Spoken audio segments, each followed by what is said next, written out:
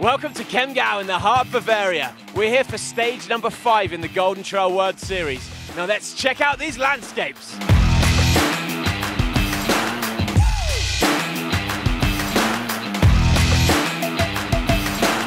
CTR is actually 44.8 kilometers and it goes 2,700 meters up and down, so it's the longest race in the series. It's cut into two loops. That's going to be important because it starts off quite shallow, which means people are going to be sucked into too fast a race. And for me, this race doesn't begin until the halfway point. So we're going to see runners at the top at the first climb who aren't going to make it to the finish in the positions they're in. Because it's the fifth race in the season, that means a lot of the established names have already qualified and they're not here today. But because some runners need the points, they're being forced to step up into the marathon. And that means it's going to be a real struggle to try and make it to the finish, still running hard. In the women's, Anaïs Sabrié for me is the favourite. She came second in Mont Blanc. She's been on great form all season and she's clearly got the legs to run the distance. But she's going to be pressured from the start from a local girl. Anna Hahner has a 2.26 marathon time. That's five minutes quicker than Maud. And so that first hill, she'll be shooting off and upsetting the pace of everyone else. Iris Pessey needs to do well. We've got Dani Moreno coming over from America who needs to qualify by scoring points well here today. And as ever, there's a lot of other runners who can upset that apple cart. In the men's, Bart is here. He's got enough points, but he wants a win. And he's shown already in Mont Blanc he's got the legs for the marathon. He'll need to protect his legs on the first descent to be able to race twice down the hills, but I think he's got it in him. Elhousine is also back. The flying camel, He's got the speed as we've seen at Dolomyths Run, but he's cramped in longer races. But word on the street is he's managed to sort that out. So if he can last, he potentially could win this.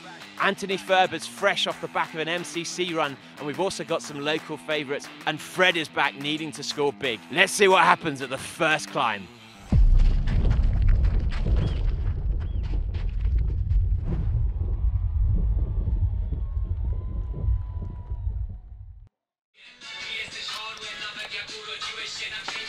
Good music. What? It's not good music. Always I forgot open this jazz Yeah. and during the race I have to open first, take out.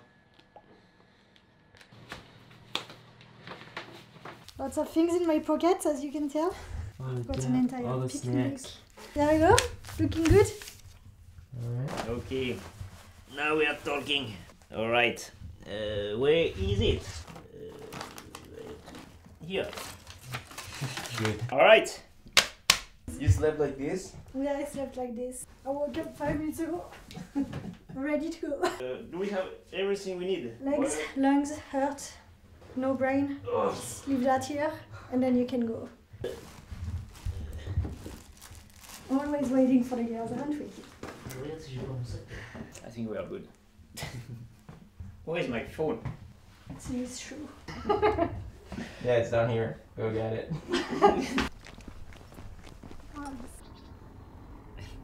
Doing him a little love note.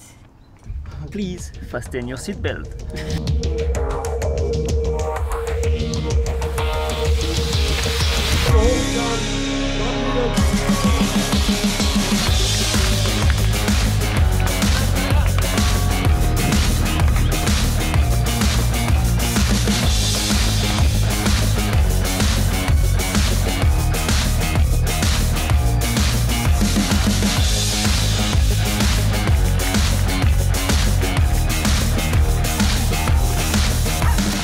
5k mark and the men have come out with huge aggression.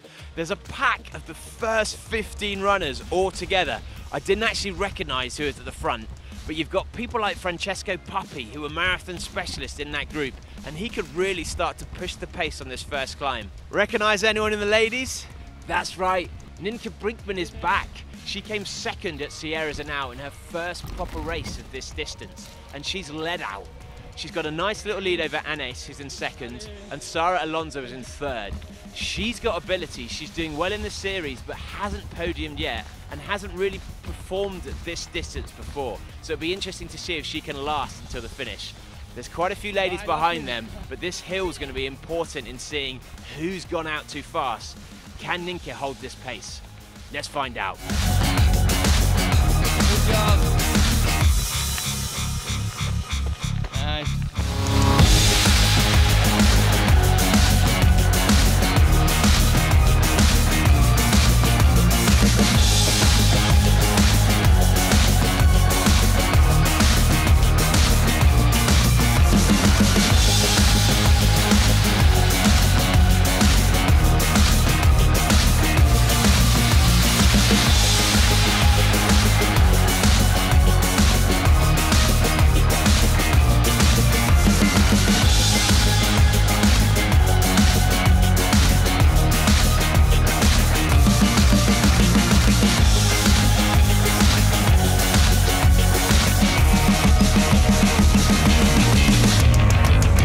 Almost two hours in at the bottom of the first loop, and ladies and gentlemen, we have got a race on our hands. Francesco Puppi attacked on the first hill, got a lead, but then had an issue with his shoe, allowing Fred and Bart to pass. Fred was leading at the top. He had a 20 second lead over Bart at this stage, which isn't much. Fred's got the capability to finish this in first, but he's coming back from injury, and Bart is a very strong finisher. Closely behind is Elhousine, and maybe 20 seconds back is Francesco. So any of those four can easily win this, and we're not even halfway. In the ladies, Nienke is showing why she was second in Sierre-Zinal. She's got about a six minute lead, and she looked so relaxed. I can't see anything stopping her other than herself right now, but Anaïs is still looking calm. She's only about a minute ahead of Sarah, who's also looking strong and very confident, followed closely by Danny and the two Germans, including Anna Hahner. I think first could be gone in the ladies, but second could still be any of seven racers. We've got more than half to go. Let's see what happens on this next big hill.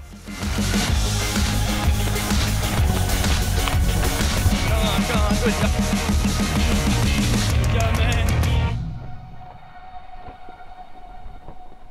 I told you this race started at halfway, and by then Bart had already lost his lead. Fred and Francesco used the flat to try and get ahead of him, but then Bart retaliated on the first climb. I didn't know he was such a strong climber and was leading by the top. When he came past me on the down, his teeth were gritted. He was clearly in pain from the force of the downhill, but he was steaming to the finish. He wanted that win more than anyone else. In second, Francesco strided out past Fred and gets his first podium of this series. And Fred, also his first podium, has maybe done enough to qualify if he could be podiuming in the next race. And in the women, it's the same old story, dominated by one woman, Maud. No, Nienke. Wow, what a race for her. Not only did she win by 11 minutes, she destroyed the course record on a longer course. And if she just needs one more good result and she'll be in the final, and with a bit more time to train, she genuinely could be the winner of this whole series. In second place, Anaïs looked smooth from the start, unchallenged, unfazed. She came in with a comfortable second. And in third, Sarah on her first marathon comes third for her first podium. What a result. Caitlin was flying down the last hill, but she couldn't quite catch her. So we think that's enough for her to be in the finals. We'll be back for the next race, which is all important. But for Maud, you've got a challenger. You know who it is. It's Nienke. Sleep well tonight.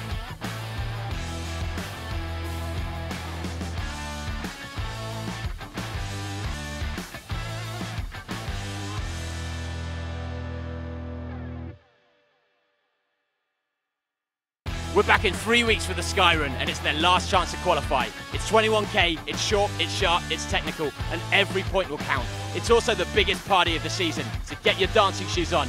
Happy trails!